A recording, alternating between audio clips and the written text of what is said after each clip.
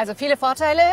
Lass uns direkt da mal bleiben. Was sind denn die Vorteile bei der Kompatibilität? Ja, also für den äh, Betreiber hat es natürlich den Vorteil erstmal, dass wir die neueste Technik anwenden. Das bedeutet, man kennt die Begrifflichkeit Smart Grid oder das SG Ready. Und das ist eine Technik, die ja schon Jahrzehnte auf dem Markt Griff hat. Aber bisher in der neuen Technik, so wie die Wärmepumpen arbeiten und auch die PV-Anlagen arbeiten, hat es nicht mehr, ich sage es mal ganz einfach, es ist ein Auslaufmodell. Mhm.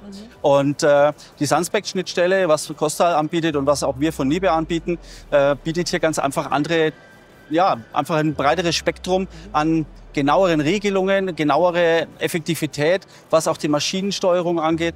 Und das ist die Zukunft.